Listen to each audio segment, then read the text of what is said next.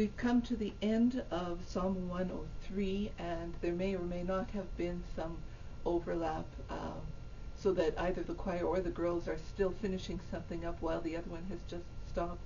You'll have to find the balance of that. Uh, in the demo that I prepared, um, I had also chanted through the, the psalm verses that Father will have sung in the ornate melody. So the balance isn't quite there but I tried to break it off more or less uh, where I thought I might have broken it up in terms of the, the girls' lines from the time before.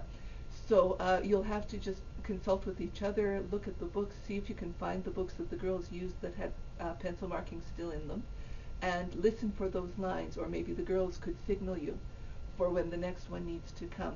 You'll have to find some way to do that. Meanwhile, at the end, we've come to the doxology and Father will be intoning.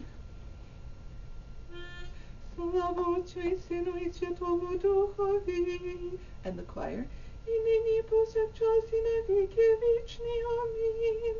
Father, Hallelujah, Hallelujah, Hallelujah, Slava Tobi Boże.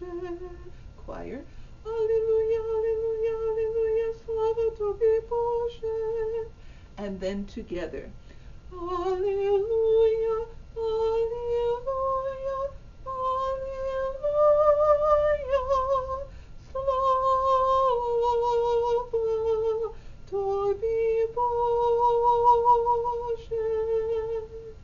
Let's do that one more time for the practice.